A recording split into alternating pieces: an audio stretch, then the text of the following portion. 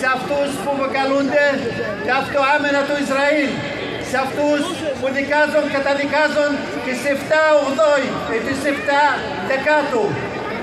Αυτοί όλοι δεν αναρωτήθηκαν ποτέ τι γινότανε επί τρεις μήνες με τη δεξιά, ακροδεξιά κυβέρνηση του Ισραήλ στη δυτική όχθη του Ιορδάνη. Δεν αναρωτήθηκαν τι γινόταν στο στρατόπεδα του Τζινίν. Δεν αναρωτήθηκαν τι γινόταν στην Άβλες. Δεν αναρωτήθηκαν τι γινόταν και στο Ιερουσάλημα. Κυρίες και κύριοι, αυτή τη στιγμή η απόφαση του Παλαιστινιακού λαού έχει λυθεί. Φτάνει μέχρι εδώ. Ξυχύλισε η οργή μας και λέμε μια κουβέντα. Καλύτερα να μας φοβούνται παρά να μας λυπούνται. Θα είμαστε νικητές. Ζήτω η Παλαιστίνη.